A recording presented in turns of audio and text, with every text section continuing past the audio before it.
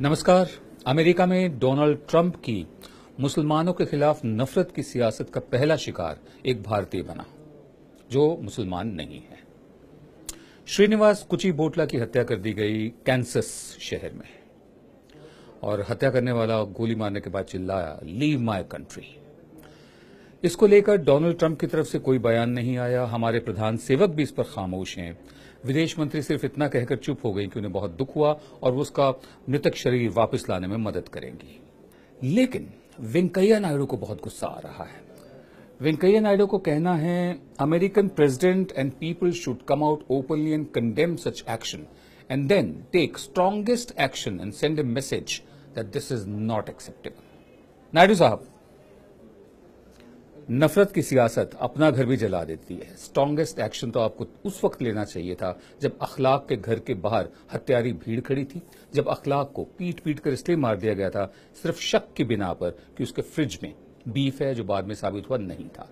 Strongest action आपको तब लेना चाहिए था, जब अखलाक के हत्यारों में से एक, रवि सिसोदिया, जेल में बीमारी के कारण मरा और उसके शव को, उसके मृतक शरीर को तिरंगे में लपेटा गया, जो गैर कानूनी है, और एक केंद्रीय मंत्री वहाँ पर श्रद्धांजलि देने पहुँचे। स्ट्रांगेस्ट एक्शन तो आपको तब लेना चाहिए था जब ग्रहम स्टीन्स और उसके दो बेटों को, एक की उम्र दस साल, एक की उम्र छह साल, तीनों को ज़िंदा जला दिया गया इसलिए क्योंकि उन पर धर्मांतरण का आरोप था। स्ट्रांगेस्ट एक्शन आपको तब लेना चाहिए था जब पंद्रह साल पहले दंगे शुरू हुए थे गुजरात में, मुसलमानों का कत्लेआम हुआ था, उसमें हिंदू भी बहुत मारे गए थे, आपको तब भी स्ट्रांगेस्ट एक्शन लेना चाहिए था। वेंकैया नायडू साहब, नफरत की सियासत वाकई अपने घर को भी जला देती है। और अब मैं मुखातिब होता हूँ अपने प्रधान सेवक से। प्रधान सेवक साहब, जिस तरह आपने अखलाक के एक आरोपी हत्यारे की मौत पर अपने केंद्रीय मंत्री को भेजा था, तिरंगे में उसका शव लिपटवाया था, ये सब किया था, कृपया अपने गृह मंत्री से अनुरोध कीजिए, जिनके तहत दिल्ली पुलिस आती है, कि वो लेक्चरर रामजस कॉलेज के, जो अस्पताल में भर्ती हैं जो कभी बाहर आते हैं अस्पताल से फिर जाना पड़ता है, जो कम से कम एक महीना पढ़ा नहीं पाएँगे, क्योंकि एबीवीपी के लोगों ने उनकी पिटाई की थी। अपने गृह मंत्री से कही कि जाकर हॉस्पिटल में या उनके घर पर उनको विज़िट कराएँ, उनका हाल चाल पूछाएँ। दिखा दीजिए प्रधान सेवक साहब कि छप्पन इंच के सीने में दिल कितना बड़ा है।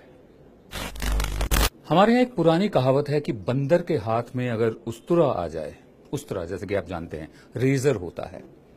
जिसे नाई लोग जो होते हैं, दाढ़ी बनाते हैं। तो बंदर के हाथ में अगर उस्तरा आ जाए तो उसको समझ में नहीं आता कि क्या है, इसका क्या करें।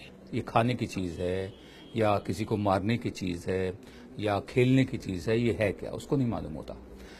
हमारे सोशल मीडिया के साथ भी ऐसा ही हो रहा है। बहुत सारे लोग ऐसे हैं, उन्हें मालूम नहीं है कि सोशल मीडिया का इस्तेमाल क्या करना है। हम लोग मेन स्ट्रीम मीडिया वाले ही रहे हैं। चालीस साल से ज़्यादा मेन स्ट्रीम मीडिया किया है। उसमें जो आज़ादी होती है आज़ादी के साथ साथ ज़िम्मेदारी भी आती है। लिबर्टी मीन्स रिस्पॉन्सिबिलिटी लेकिन सोशल मीडिया पर क्योंकि पहचान छुपी रहती है, कोई भी कुछ भी लिख सकता है, कोई भी कुछ भी बोल सकता है। हाल ही में हमारे यहाँ की एक लेखिका है, शोभा डे। उन्होंने एक पुलिस वाले का मज़ाक उड़ा दिया। क्यों? क्योंकि वो बहुत, उनका डील डॉल बहुत बड़ा था, उनका जिस्म बहुत बड़ा था। मध्य प्रदेश का पुलिस वाला था। कह ये दिया कि ये बॉम्बे पुलिस का हाल है।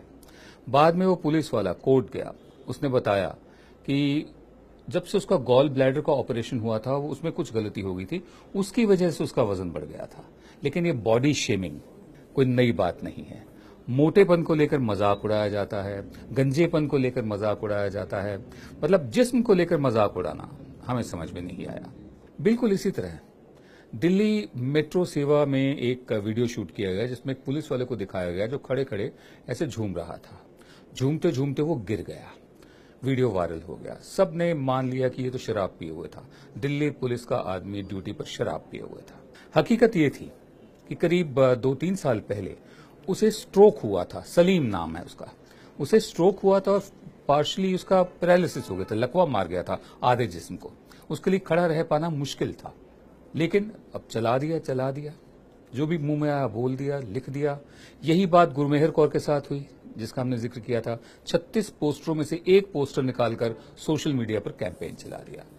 तो गुजारिश ये है आप सबसे कि जो कुछ भी सोशल मीडिया पर आता है, एकदम आँखें मूंद कर उसका यकीन ना करें, उसे फॉरवर्ड ना करें, उसे शेयर भी ना करें, ठोक बजाकर क्रॉस चेक करके फिर बात करें, जैसे हम लोग मीडिया में करते हैं।